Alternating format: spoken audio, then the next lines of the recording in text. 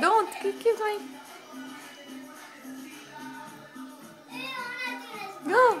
It's fine. Okay, go.